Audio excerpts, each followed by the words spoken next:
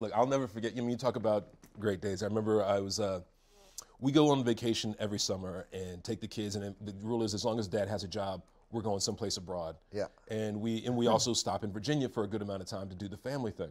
And we were at my brother-in-law's pool, his community pool, and I'm throwing kids, literally just taking kids and throwing them into the pool and having a good time and roughhousing. All of a sudden, my phone rings and I ask my wife if she can grab it. And she goes, "It's uh, it's Shonda Rhimes' office." And I was like, "Kids, gotta go!" And I ran over, took the phone, and they were like, Shonda and Betsy Beers. Betsy Beers is Shonda's uh, work wife. They're partners in crime, and they were like, they want to have a conversation with you in an hour. Is that okay? And I was like, sure.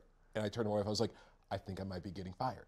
I, I think this is I think this is the call to be like, sorry, this we're we're gonna kill Ben off this season. I picked up the phone when, you know an hour later, and they were like, how would you feel about Ben going over to this new show that we're starting? And I was like, are you offering me another job? Y- yeah, we could do that. That could, that could work. I could, I could roll with that. And, uh, and so it was like, again, another one those moments where I was just like, you know, my wife was like, you know, whatever you did in a past life.